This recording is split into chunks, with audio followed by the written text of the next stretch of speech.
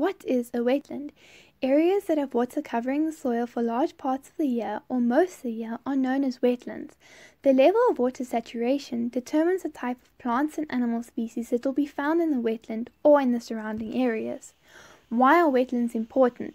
They contain a high concentration of a large biodiversity of plants, mammals, invertebrates, and fish. Many animals use wetlands as their nurseries.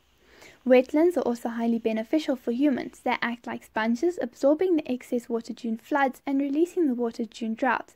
This ensures that the rivers downstream don't flood in the rainy season and they don't dry up in the dry season. Wetlands act as a flood control. They ensure that the downstream rivers are always kept at a constant level. Wetlands are also, are also an excellent water filter. They capture the pollutants from the water into their soil. So the water that flows out of a wetland is cleaner than the water that flows into a wetland. What is threatening wetlands? Global warming is a threat to wetlands. The warmer the air temperature gets, the warmer the water temperature gets. Algae likes to grow in warm water, and the algae and overgrowth of algae can block the wetland. Overgrazing is also a threat. Pollutants such as fertilizer, herbicide, and pesticide is also a threat to wetlands. Industrial and residential development on or around wetlands also affects them. Building of dams or diverting of the flow of water affects wetlands. Invasive species such as plants, fish, and animals have a hugely negative effect on wetlands.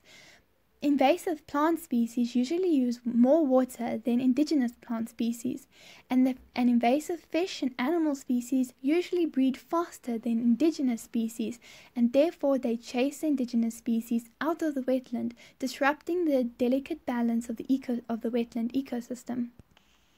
How can we protect them? Ensure that a buffer zone is kept around wetland. Do not build in this buffer zone. Do not use herbicides and pesticides unnecessarily. Remove invasive species. Do not plant invasive species in your garden because these invasive species could spread to wetlands. Do not throw your rubbish in a stormwater drain. All storm, most stormwater drains lead to some sort of wetland.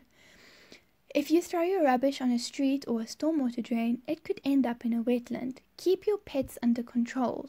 Dogs and cats love to chase and hurt wetland creatures.